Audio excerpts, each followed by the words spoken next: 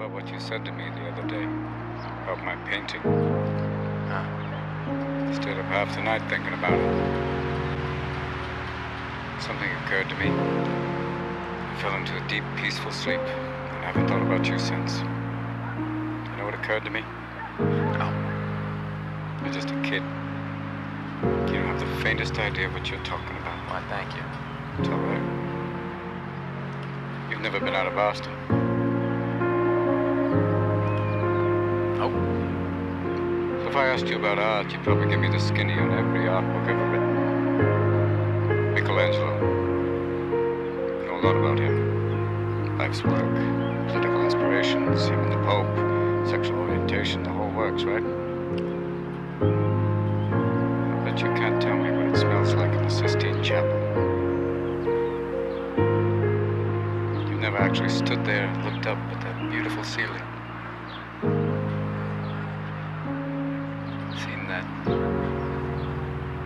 If I ask you about women, probably give me a silver say your personal favorites. You may have even been laid a few times.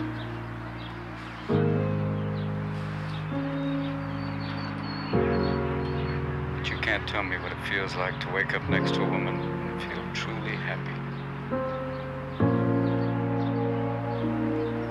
You're a tough kid. I ask you about war, you probably uh, throw Shakespeare at me, right? Once more into the breach, dear friends. But you've never been near one. You've never held your best friend's head in your lap and watch him gasp his last breath, looking to you for help.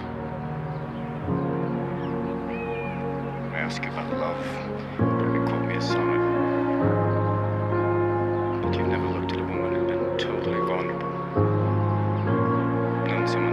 You with her eyes. Feeling like God put an angel on earth just for you.